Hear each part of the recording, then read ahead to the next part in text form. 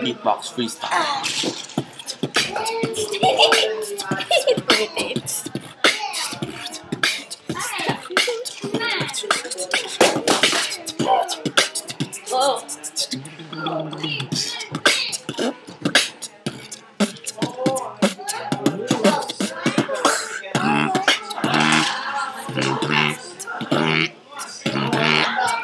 Tingnan mo hanga daw.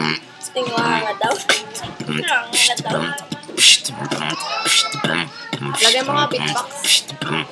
I-post mo sa Facebook mo.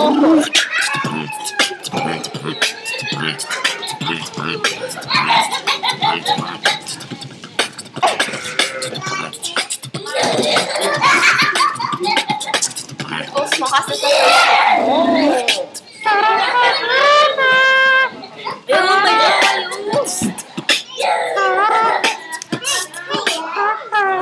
Bye.